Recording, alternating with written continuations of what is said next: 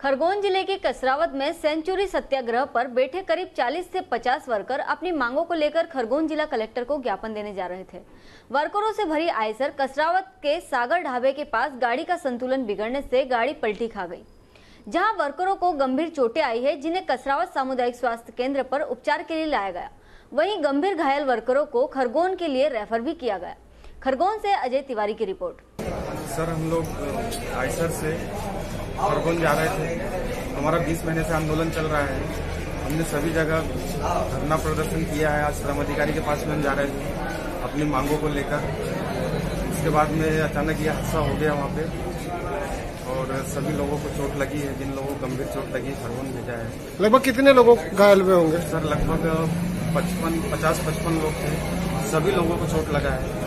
Sir, आपसे मिलने के लिए कंपनी की तरफ़ से या कोई नेता नेता या कोई अभी तक नहीं मिलने पहुँचे आपसे? नहीं, नेता वेता तो कोई नहीं आया, सर। एक्चुअल हम लोग खरगोन जा रहे थे लेबर ऑफिसर से मिलकर नगर की सफ़ाई के हिसाब से जा रहे थे।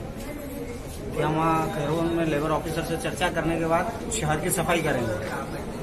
ये सब विषय लेकर के हम आगे बढ़े लेकिन रास्ते में ड्राइवर का क्या हुआ पता नहीं दिया ये हमारे समझ में नहीं आया। जी हम ये पूछना चाह रहे हैं से दुर्घटना दुर्घटना के बाद आपसे कोई मिलने के लिए कंपनी कोई संपर्क कंपनी मैनेजमेंट की तरफ़ से कोई नहीं आया।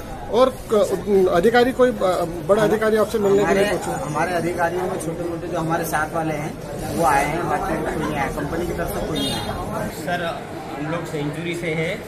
सेंचुरी से हम कंपनी दो साल से बंद है। वो हमको बैठे बैठे हमारा सत्याग्रह आंदोलन चल रहा है बैठे बैठे तनख्वाह दे रहे हैं। हम हमको बैठे बैठे तनख्वाह नहीं चाहिए इसलिए हमने सोचा कि कुछ सफ़ाई की जाए तो हम सफ़ाई अभियान के अंतर्गत खरगोन आ रहे थे। और बीच रास्ते में एक्सीडेंट कितने लोग थे? आप तो ज्ञापन देने आ रहे थे। क्या आप तो ज्ञापन देने आ रहे थे कलेक्टर कार्यालय। कलेक्टर कार्यालय सफ़ाई के लिए आए थे। सफ़ाई के लिए।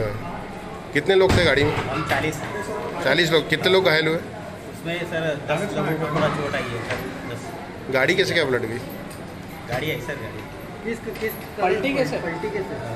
पलटी टर्न में पलटी कैसे तेज चल रही थी आपकी गाड़ी? तेज नहीं वैसे मीडियम में थी टर्न में एकदम से